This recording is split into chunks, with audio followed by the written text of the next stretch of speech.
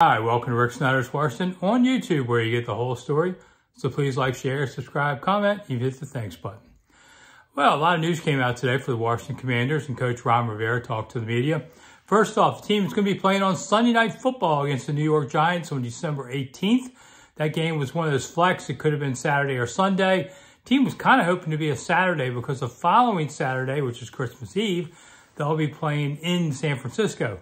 So it would have been, you know, it's kind of a short turnaround on this one, but that's all right. And you get to watch a national TV game, and Rivera said, yeah, they're pretty excited about that because they know that these kind of games are big exposure games for the team and the players. So, all right, so the Giants game's is Sunday night.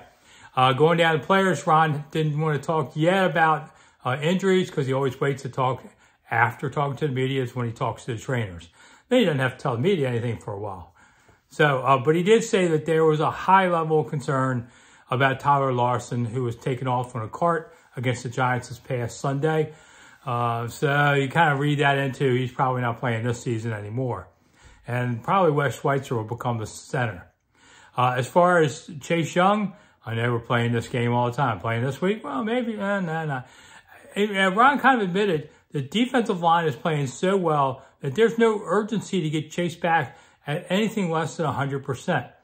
Is that possible? I don't know. 100%, you know, that's a hard figure to figure out. But that's what's going on there. They just don't need him quite yet, so they're not going to risk him. Uh, asked if there was a chance that Carson Wentz might be starting against the Giants in the second game of these. Uh, Ron pretty much said no. Things are going okay. So why do that? But Wentz will be the backup once he's ready to go. And you see from there after this game what happened. So it's a, you know, it's, he pretty much settled on Heinicke, but he didn't commit to him long term.